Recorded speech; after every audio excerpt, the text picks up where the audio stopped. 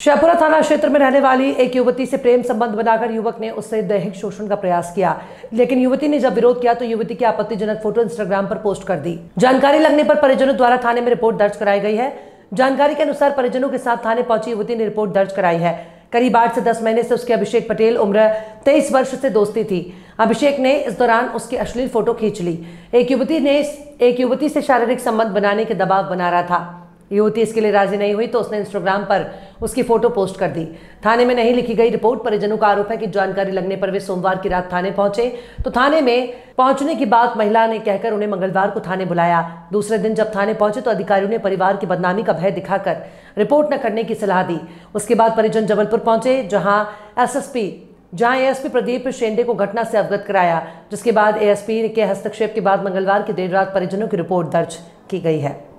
मैं सहपुरा से हूँ और मुन्ना माल गुजार मुन्ना पटेल का लड़का अभिषेक पटेल, वो मुझे बहुत दिनों से परेशान कर रहा था और उसने कल रात को सोशल मीडिया पे मेरी फ़ोटो अपलोड की है, जिसके कारण कल रात से मैं थाने में बैठी हूँ जहाँ मेरी रिपोर्ट दर्ज नहीं की गई, इसलिए मैं एस पी ऑफ़िस आई हूँ अपनी वो दर्ज करवाने। कितने दिन से परेशान कर रहे हैं?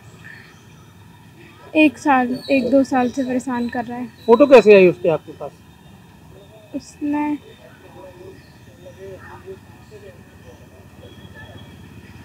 सोशल मीडिया अकाउंट में आप कनेक्ट हैं उससे कि अपने आप उनने फ़ोटो भेजी? नहीं वो सोशल मीडिया पे नहीं है मेरे से नहीं है।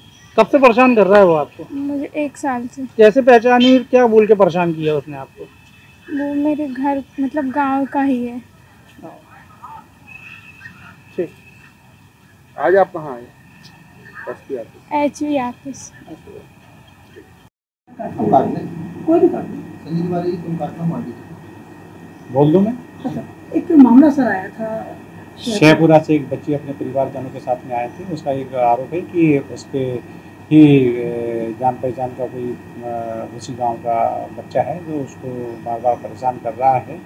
तत्संबंध में मैंने तत्काल थाना प्रभारी को निर्देशित किया है कि आरोप के अनुसार उसमें विधि सम्मत कार्रवाई करें और आरोपी को हिरासत में लिया उसका उनका आरोप कि लगभग कल रात में दस बजे से थाने में बैठे हैं लेकिन अभी तक शिकायत नहीं उन्हें आज फिर आपके पास एसपी ऑफ़िस तक आना पड़ा। ये जानकारी संज्ञान में नहीं है किंतु जो कंप्लेनेंट आए थे उसको उनसे मैंने चर्चा किया और थाना प्रभारी से बात करके मैंने उनको तत्काल थाना जाने के लिए कहा है और थाना प्रभारी को निर्देश दिया है वो तत्काल कंप्लेनेंट की शिकायत पर विधि सम्मत कार्रवाई करें।